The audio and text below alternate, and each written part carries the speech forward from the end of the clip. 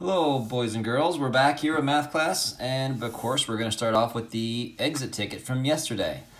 Uh, hopefully, you had a lot of success yesterday, so we can have um, success today doing this. So, you got five minutes, you're on the clock. Uh, do these as best as you can and uh, see how you do, all right? And uh, we'll be back in about five minutes. So, teachers, pause now.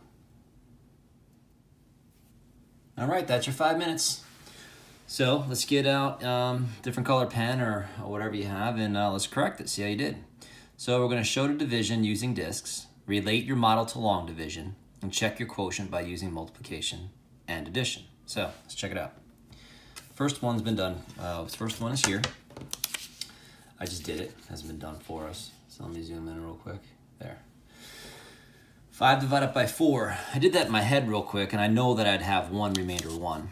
Okay, so if I put the 5 into the 1's place over here, and then I divide this section into four groups, I'm going to get 1 with 1 remainder. And that's what we showed here. 4 fits into 5 one time. 1 times 4 is 4. Subtract, you get 1, remainder 1. So quotient is 1, remainder is 1. So 1 times 4 equals 4. Okay? Add the 1, and you get 5. Now down here, okay, is where we decompose the tens. I don't know if you remember that. Okay, so let's check it out. So let me bring this up so we got it right here at the top. And right there, that's good. Okay, so this is 56 divided by 4. So what I'm going to do here is take my 5 discs, I put it over here, and my 6 ones, I put it right here.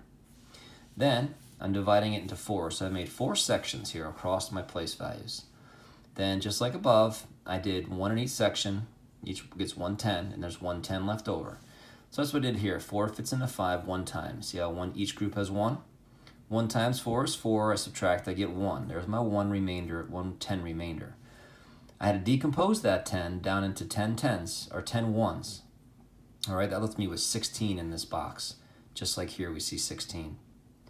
And then I did uh, split that four. Four fits into 16 four times. So I split that 16 up four times and I got four in each box.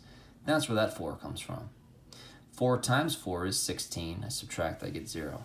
I check my work down here. 14 times four equals 56. All set. All right, uh, hopefully you did okay with this. Uh, teachers, please add anything to this that you wish. All right, hang tight. We'll be right back with our I can statement.